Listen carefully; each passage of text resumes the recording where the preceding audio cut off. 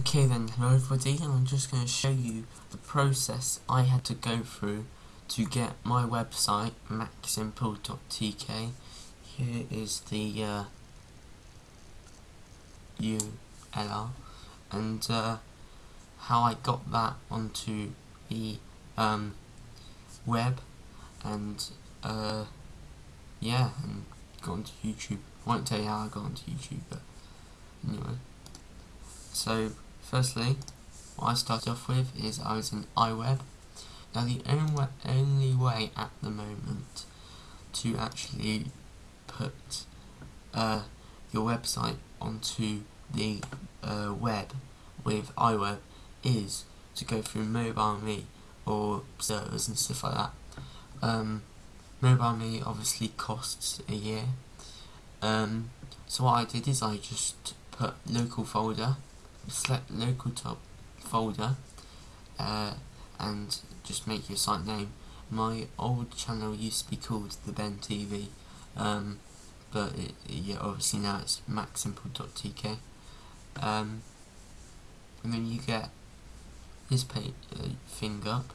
So now what we want to do, just forget this part, what we want to do now is to minimize that and uh, one and go onto this one, press X on that, and then go onto Dropbox and download it.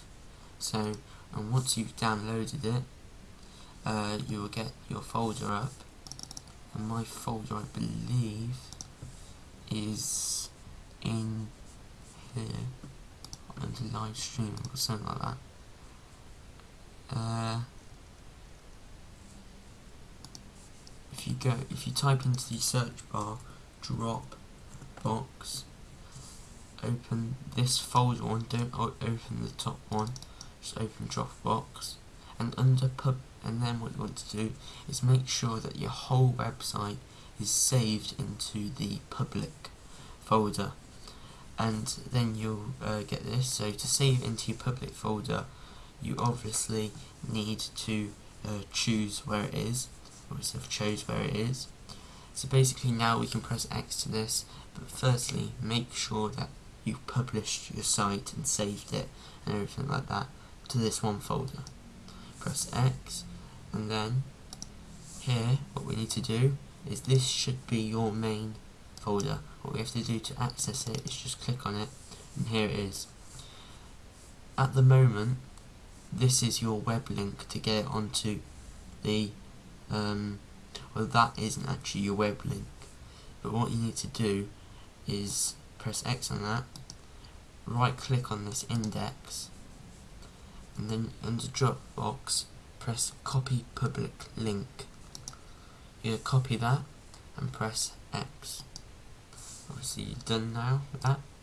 And then what you do is go into dot dot tk um, this is the uh, website address up here just type in www.dot.tk.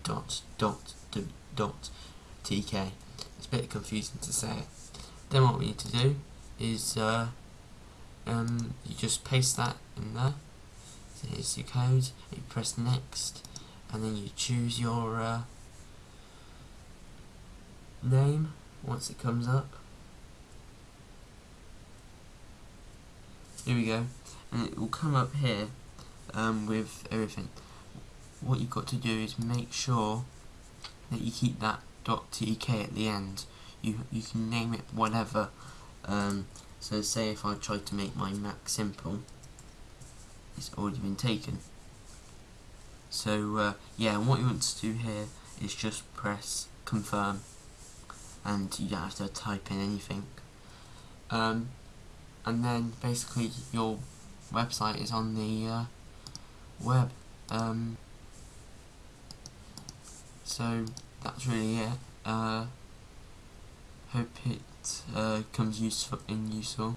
Um, if you need any help, uh, just write a comment underneath this video. And uh, yeah, thank you for watching.